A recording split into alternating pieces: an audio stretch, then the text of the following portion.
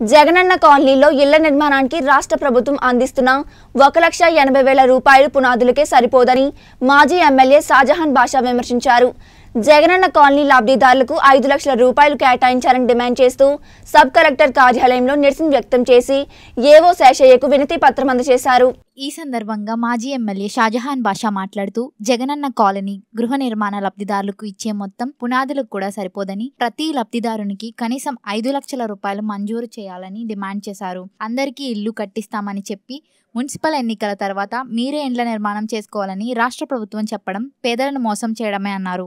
Corona సమయంలో ప్రజలందరూ కష్టాల్లో ఉన్నారని ఇలాంటి పరిస్థితుల్లో పేదలు ఇల్లు ఎలా నిర్మాణం చేపడతారని ప్రశ్నించారు. లేఅవుట్లు పట్టణానికి సుదూరంలో ఉన్నాయని అలాంటి లేఅవుట్లు రద్దు చేసి పేదలకు అనుకూలంగా ఉన్న ప్రాంతంలో ఇవ్వాలని డిమాండ్ చేశారు. రాయి ఇసుక సిమెంట్ స్టీల్ ధరలు విపరీతంగా పెరిగిపోయాయని కేంద్ర రాష్ట్ర ప్రభుత్వాలు పునరాలోచన చేసి ఇల్లు నిర్మాణం వ్యయం పెంచాలని డిమాండ్ చేశారు. ఈ కార్యక్రమంలో కాంగ్రెస్ పార్టీ నాయకులు కార్యకర్తలు పాల్గొన్నారు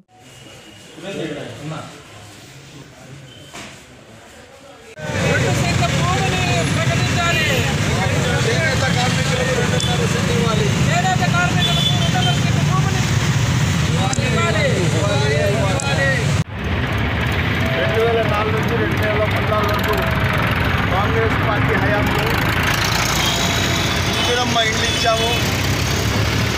రెండు గుంటల రెండు సెంట్లు స్థలం ఇచ్చాము. అది కాకుండా కొద్దిగా వాళ్ళకు వచ్చింది మార్జిన్ ల్యాండ్ కూడా ఇచ్చాము. రెండు సెంట్లు స్థలం ఇచ్చి అర్ధ గుంట వరకు మార్జిన్ ల్యాండ్. ఎందుకు? పిల్లలకు ఆడుకునేదానికి ఇంటి ముందర వాళ్ళకు వసతి కల్పించాము. ఈరోజు జగనన్న ఇళ్ళకు పథకం కింద ఒక కార్యక్రమం పెట్టారు. ఈ కార్యక్రమానికి ఒకటిన్నర సెంటు స్థలం ఇస్తున్నారు. ఒకటిన్నర సెంట్లు వచ్చి గోడలు మినహాయిస్తే అర్ధగుంట స్థలమే మిగులుతుంది. ఈ అర్ధగుంట స్థలంలో బెడ్రూమ్ ఎక్కడ రావాలా?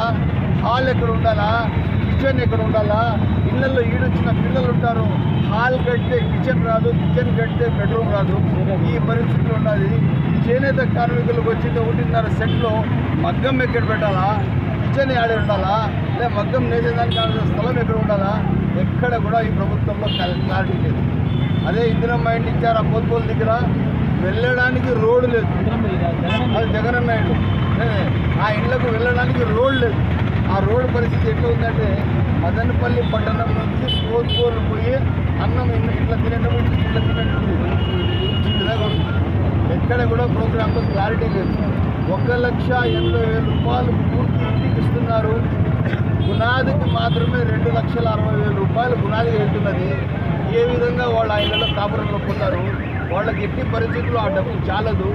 మళ్ళా వాళ్ళు ఐదు రూపాయలు పది రూపాయలు రేట్ ఆఫ్ ఇంట్రెస్ట్తో డబ్బు తీసుకొని ఇల్లు మళ్ళా ఎవరో ఒక డబ్బు ఉండేవాడికి లేదంటే ఎవరితో ఎవరికో ఎవరో అప్పు ఇచ్చిన వాడికి అమ్మేసి ఖాళీ చేతితో మళ్ళీ రోడ్లోకి వచ్చేసి. ఎక్కడ కూడా ఈ ప్రభుత్వంలో జగనన్న ఇండ్ల స్కీమ్ పథకంలో క్లారిటీ లేదు. ఒక లక్ష ఎనభై వేలు కూడా రాష్ట్ర ప్రభుత్వం ఇస్తా ఉండే డబ్బు కాదు. కేంద్రంలో ఉన్న స్కీమ్లో భాగమే ఇది. మేము ఒకే ఒక మాట అడుగుతున్నాము. మీరు ఇస్తున్న డబ్బులు చాలదు.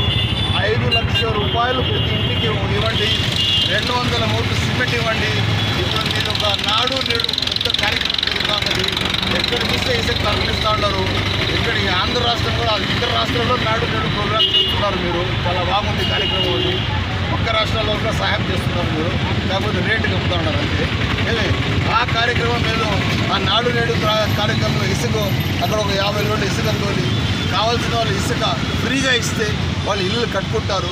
వాళ్ళకు ఒక ఐదు లక్షల రూపాయలు డబ్బులు ఇచ్చి ఒక రెండు వందల బస్తాలు సి- సిమెంట్ ఇస్తే ఏమైనా ఇల్లు